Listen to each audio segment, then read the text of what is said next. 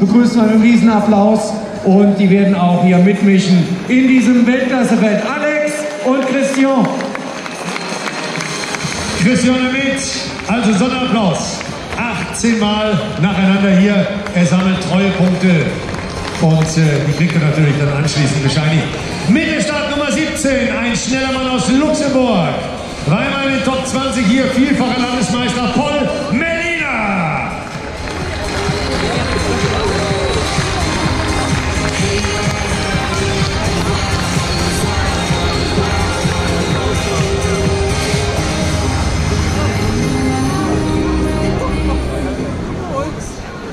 Bitburger 0,0. So gut kann Erfrischung schmecken. Und deshalb bitte ein Bit. So, dann als nächster mit der Startnummer 13, das ist der Mann aus Slowenien, die erste Start aus Slowenien in der Silvesterlaufgeschichte. Rock Puha, der Landesmeister. Rock, wo bist du? Rock Puha, herzlich willkommen in Deutschlands ältester Stadt. Leute, 27 Nationen hier. Das ist Rekord, das hat es auch noch nie gegeben. Und deswegen begrüßen wir auch ganz besonders einen Mann aus Neuseeland, der sicherlich, wenn es ums Wetter geht, dort besser aufgehoben wäre. Aber die besseren Rennen gibt es hier, die Atmosphäre sowieso. Viermaliger Landesmeister ist der erste Neuseeländer hier in Trier, war Dritter in Dronten. Das ist ein ganz starker Lauf im Halbmarathon. Und äh, Trainer ist Arthur Lydia, der legendäre, kommt aus dem Land. John Walker, Peter Snell. Leute, hier ist Malcolm Hicks. Malcolm Hicks aus Auckland. Malcolm Hat gestern bei der PK gesagt, dass er aufs Podium möchte, also unter die ersten drei. Das gleiche hat er zumindest seinem Manager verraten. Der Mann, den ich jetzt vorstelle, er kommt aus Äthiopien, lebt seit Jahren in Trier, startet für den Diza TSK. Oranien war letztes Jahr Zehnter, will diesmal, wie gesagt, aufs Podium. Abdi Uya! Dann mit der Startnummer 7 aus Belgien. Er wird sich auf keinen Fall verlaufen, denn er war Fünfter bei den Weltmeisterschaften im Orientierungslauf. Aber ganz schneller Mann. Unter 8 Minuten über 3000 Meter. In den letzten Jahren hier die Plätze 7, 6 und 6 mit der Startnummer 7. Yannick Michels. Dann einer der drei top-deutschen Verkaufsdirektor der Bitburger Brauerei, die seit Beginn hier unser Partner ist, dieses Silvesterlaufs und dieses Rennens insbesondere. Wir müssen ein Stückchen zurückgehen. Der Heinrich nimmt das ganz genau. Ja, die acht äh, Kilometer sind auch exakt vermessen hier. Ja, das das heißt, es gibt eine Bestenliste, also muss das schon seine Ordnung haben. Okay. Heinrich, du guckst drauf. Wenn du diese Hände so hebst, das ist eine Geste, die kenne ich eigentlich nur aus der Kirche, aber du schiebst die Läufen von vor dir her. Der Michael Stumpf kennt das auch schon. Und übrigens an der Stelle mal ein Dank an die Bitburger Brauerei, Leute. Ohne diese tollen Sponsoren ist das alles hier, gäbe es das nicht. Ich glaub's euch, gäbe es das nicht. Die müssen hierher fliegen, die haben Kosten und die wollen natürlich auch ein bisschen Geld verdienen, denn sonst kriegst du die Top-Leute hier. Also dann Applaus mal bitte an die Sponsoren, an die Bitburger, an die Sparkasse, an all die anderen, die uns unterstützen. Ein Applaus bitte für alle Sponsoren und für dieses Feld was wir jetzt auf die Reise schicken. Acht Runden, acht Kilometer.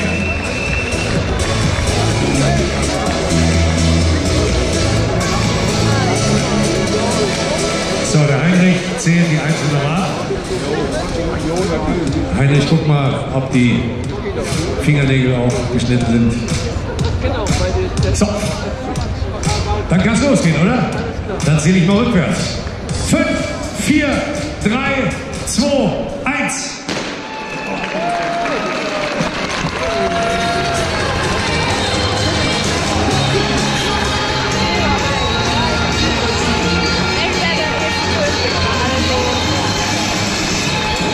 Läufer hier halten, die ja Marathon-Experten sind, wenn man mal von Martin Sperlich absieht, der hier ja, sich so langsam auf die 5000 Meter konzentriert hat, der ein guter 1500 Meter Läufer ist.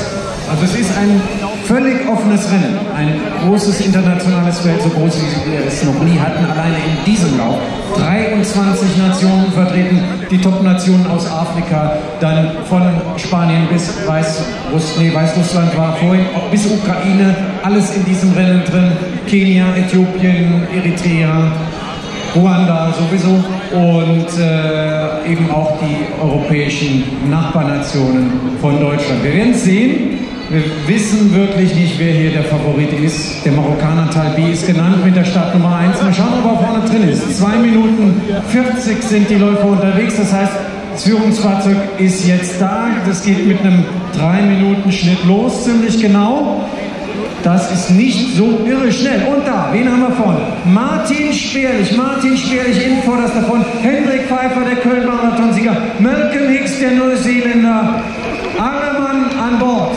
40 fast groß. 30 bis 40 Leute. Und auch Alexander Bock vom PST Trier hängt an der Spitzengruppe dran.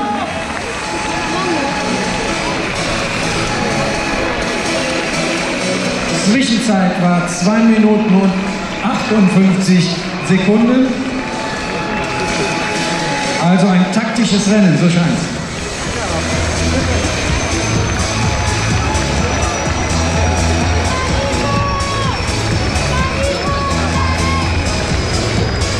Neben der Marokkaner mit der Startnummer 1 Uhr, Talbi. Mit dabei Abdi Uya, der aufs Treppchen laufen will.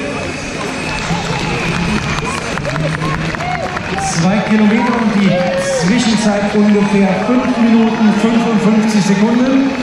Gleichmäßiges Tempo also. Und das ist Alex Bock, der Trierer. Mensch, der einen Applaus verdient. Christoph Gallo aus Belgien hier in diesem Verfolgerfeld. Cyril Merl aus Frankreich. Der Franzose im Feld. So, Bernhard, lass uns kurz die Siegerehrung machen, dann können wir gleich wieder zu dir zurückkommen, denn die Jungs warten hier. Siegerehrung also Okay. im Sportflecklauf über 5 Kilometer. Michael Fleck ist hier und äh, wird die Siegerehrung vornehmen. Der Christian Brand ist auch da und äh, deswegen bitte ich jetzt die ersten drei hier vorne aufzutauchen. In 15 Minuten 33,7 von der LG Rhein-Wied. Das ist Yannick Weiß. Yannick, Platz 3, Yannick Weiß. Super. Dann die Kenianer. Alfred Cherop ist dabei, Philipp Flieger ist dabei. Die deutschen Läufer alle mit dabei. Ein spannendes Rennen und wir waren, wenn wir auf die Zeit schauen, ungefähr bei 5, 5 und 8,51, 8 Minuten 51, das heißt ein taktisches Rennen weiterhin, das wird spannend. Und der genießt das hier, Alex, Alex Bock.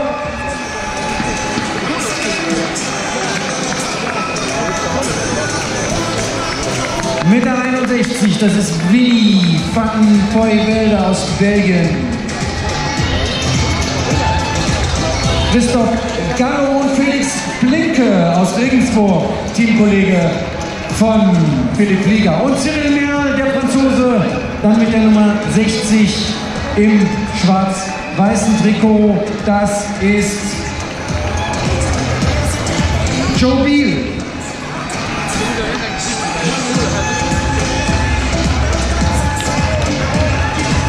Fünf Runden noch für diese Läufer hier zu laufen. Wenn die Führungsglocke gleich kommt, ist die Hälfte des Rennens absolviert. Dominik von Wirth mit der 99 von der DG Konz. Nur besoffen als diese Zusammenquatschen. So, jetzt hier, Leute, Halbzeit. genau. Und vorne sind es 2, 4, 6. Suel Talbi ist dabei.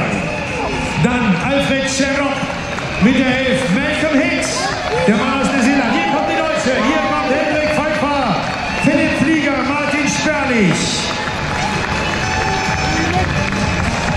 die deutsche Woche mit gebührendem Abstand. Und hier kommen die Verfolger. Einer gibt gerade das Rennen auf. Das ist ein schnelles Tempo, keine Frage. Aber der Wind, der Wind ist heute auch entscheidend für den Lauf und für die Gestaltung des Laufes und auch die strategischen Entscheidungen. Hier mit der 91. Ganz gute Mütze zu tragen. Andreas Keil Vorneck von der LG Vulkaneifel. Der Alex. Alexander Bock. So, und was uns vorhin in dem dichten Feld entgangen ist ein bisschen. Ist ja, weiß wegen Einheimer. So, hier kommt er wieder. Unser Freund, der Bewahrte. Vergiss Dali.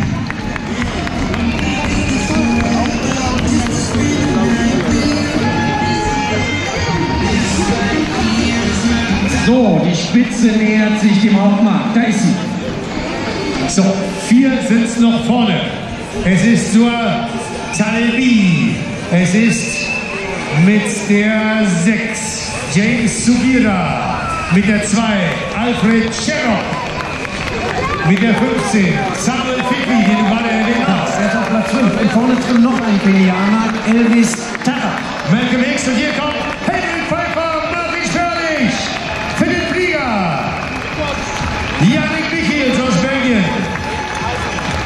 Mit der 10 Abdi Uja.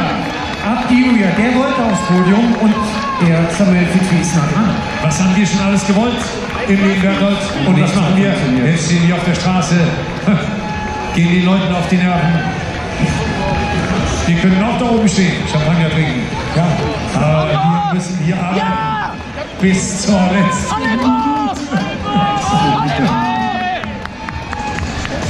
Applaus, Leute, für alle, die jetzt hier auf die dritte Runde gehen. Jawohl, die 70, wen haben wir denn da? Abdelkadir Saruan. Die Spitze kommt. Die 28 ist vorne. Und Suher Talbi. Elvis Chemor. Dann Alfred Scherrock. Das sind die vier da vorne. Die sind überrundet. Dann ist der hier vorne. Oh, guck mal, der hat aufgeholt. Malcolm Hicks. Hast du das gesehen? Ja. Und jetzt kommt die deutsche Gruppe hier mit Hendrik Pfeiffer. Der macht immer noch das Tempo. Und Martin Sperlich und Philipp Flieger. Sperlich ist da, mein lieber Mann. Janik Michels, Sperlich. Ersten beiden Runden geführt. Sein, sein Vater und Trainer hat das angekündigt, er hat gesagt, er ist Christian super Form. trainieren. Das ist unser Christian, 46 Jahre, in dem Alter noch so. Ne? Arbeitet wahrscheinlich halbtags.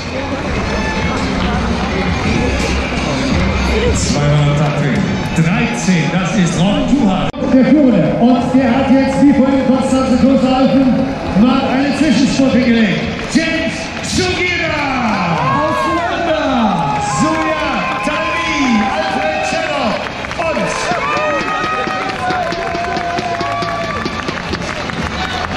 Elvis Schemmer. Und das wird eine Geschichte, sollte hier ein Läufer aus Ruanda ersten Mal in der Geschichte des Silvesterlaufs triumphieren. Und wer kommt jetzt hier als Fünfter? Oh, guck mal hier, der Malcolm Hicks, der hat aufgehört. Malcolm Hicks aus Neuseeland, Leute. Der hat hier mächtig aufgehört, aber jetzt kommen die beiden Deutschen, die beiden Wattenscheider. Henrik Pfeiffer, Martin Sperli, Philipp Flieger. Der so schwierig ist für Friedrichshafen im Start inzwischen. ne? Und der Henrik für Wattenscheid.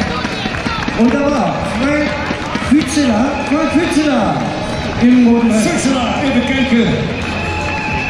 Trotz Krankenwelle, sagt er heute. 2,39 war die Runde. Boah.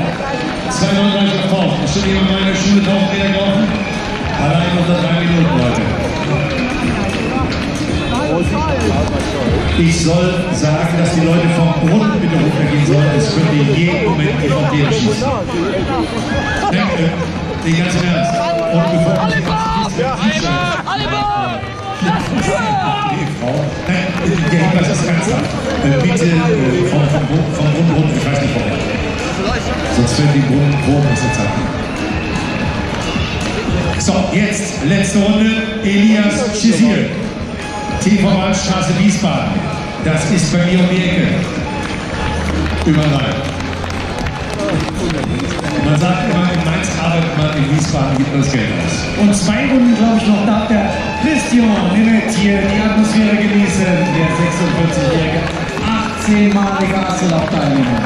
So, jetzt mit Blick auf die Uhr, 22.08 Leute. Das wird jetzt hier das Finale. Jetzt schauen wir mal, wer vorne ist. Und Ruanda jubelt hier schon ein bisschen im Zielbereich. Der Trainer John Peter und Salome Niriraku, die vorhin eben Zweiter geworden ist. Bei den Frauen mit Anstili stehen sie da, unsere Ruanda-Delegation. Und wir sind sehr gespannt, wer ist der Sieger des 28. Bitburger 0,0 Silvesters. Mit der Startnummer 6 war es der Mann aus Ruanda, James Sudira, der geführt hatte. Aber so doll war der Vorsprung nicht, so eindeutig nicht. Und in der letzten Runde, gerade bei dem Wind, kann noch viel passieren. Und es ist viel passiert, denn jetzt ist Suya Talbi aus Marokko vorne. Suya Talbi! Und Platz 2 geht an James Sudira, Alfred Cello und Elvis. Boah. Und hier umarmen sich die Trainer und Manager und freuen sich über den Sieg ihres Teamkameraden. Also das sind die ersten vier Schauen auf diesen unglaublichen Vorsprung. Also Suher Dali hat die Startnummer 1 gerechtfertigt. Jetzt kommt der beste Deutsche. Hier kommt Martin Sperling. Henrik Pfeiffer. Souverän.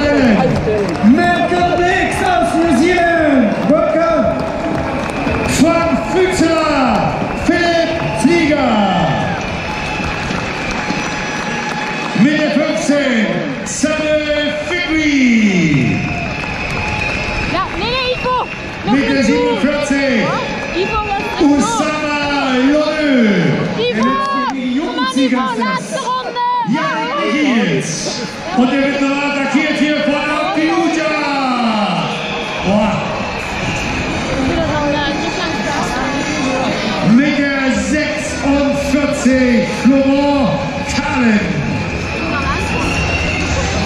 23 Bälle von Scholbeck.